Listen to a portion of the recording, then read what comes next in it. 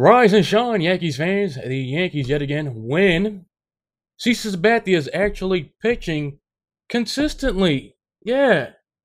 Something that was raising the alarms.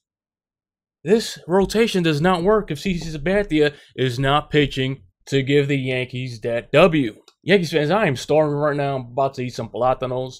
But before I begin, Yankees fans, the Yankees are considering calling up Brandon Drury to play first base. And some people are saying that they might call down Greg Bird because some people are saying that Greg Bird was called up too fast and he needs more time in AAA. Who knows? I think they're just going to replace him with Tyler Austin. Who knows how many trips Tyler Austin actually has to be called down to the minor leagues? Because people have been scratching their heads saying, hey, this guy's struggling. He's barely hitting. Why don't the Yankees call him down to AAA? We saw that with uh, Ronald as They prefer to keep Tyler Austin. So who knows? Maybe his minor league days are numbered. Maybe he can't be called down without being designated for assignment or whatever. And now that I think of it, the Yankees might be holding on to Tyler Austin as trade bait because it's obvious by now that if they do call him down, they have to like designate him for assignment. So I'm pretty sure they're holding on to him on the roster to use him as trade bait. So even the Simonetti source said this: the Yankees might call down Greg Bird and call up Brandon Drury.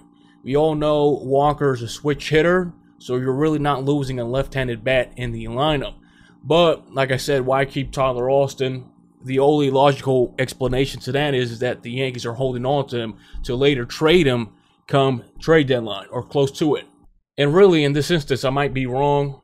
I'm not 100% sure if it works that way or if it's going to work that way. My explanation for the Yankees keeping Tyler Austin on this roster is really using him as trade bait. If you don't know, Drury started yesterday's game in AAA at first base.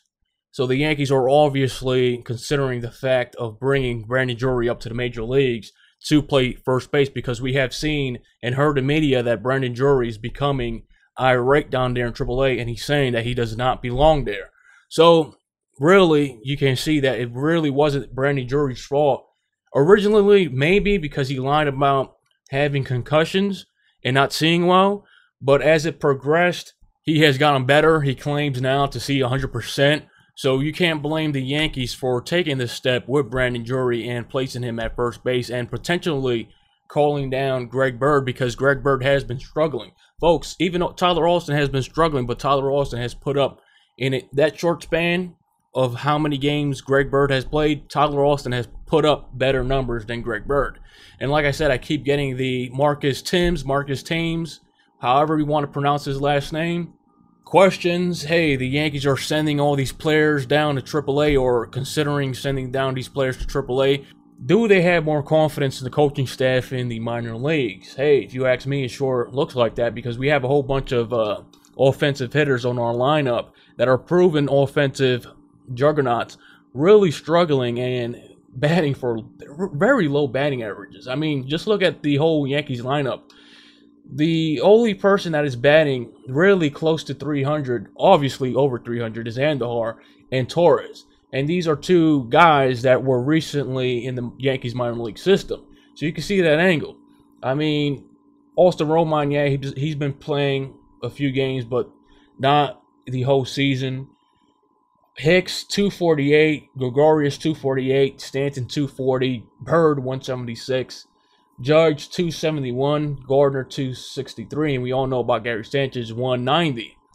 So there, that's something to look at, folks. The Yankees are not batting for average. I mean, they're still winning ball games, but with a team like the Red Sox on the Yankees' tail or the Yankees on their tail, I mean, it's going to be pretty hard to stay consistent in the AL East. But we all know the Yankees have all the pieces to upgrade their team. So obviously they are. The Red Sox do not. So that's where the Yankees have the upper hand with the Red Sox. So, Yankees fans, leave your opinions in the comment section below. Do you think it's a great idea to call up Brandon Drury to play first base or rotate him with, let's say, a Walker or Greg Bird? Like I said about Tyler Austin, maybe I'm wrong. Maybe the Yankees do call him down, but for whatever reason they haven't. So that is just my opinion that if they do have to call him down, they have to designate him for assignment or release him or whatever, however that works. So Yankees fans, like always, this has been Felix from NYYNews.com. Share, like, and subscribe. I will check you all next time.